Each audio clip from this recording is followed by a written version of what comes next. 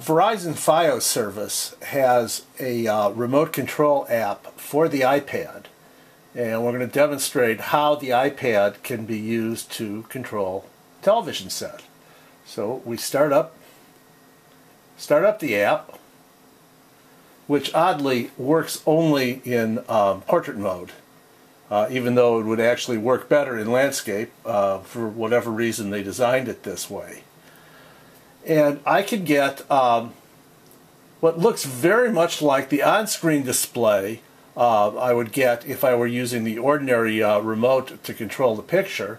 We are going to um, go to channel 570, which is ESPN HD, and we'll select the show that's on now, which is called Around the Horn, and and then Tune TV comes up, so we hit the Tune TV button, and it switches to channel 570. I could also use this uh, app to um, control my uh, DVR. So we'll uh, we'll bring up the DVR here, and um, it shows that I am uh, scheduled to record uh, Big Love on um, HBO on uh, on Sunday evening. I can also use it uh, to uh, see what I have scheduled to record and what I have already recorded. So I have a, a whole long list of things. I can select a movie I recorded um, a while ago.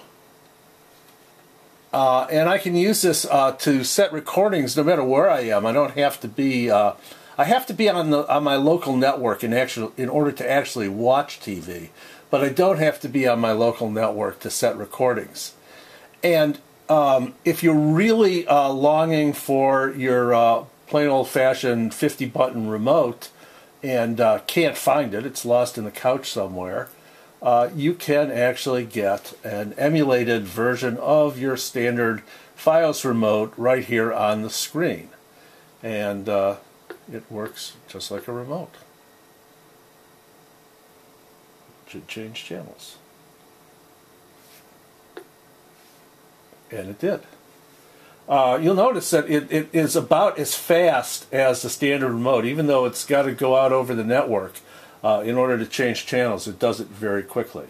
So uh, it's uh, all in all, this is a, a very uh, handy replacement for the standard remote.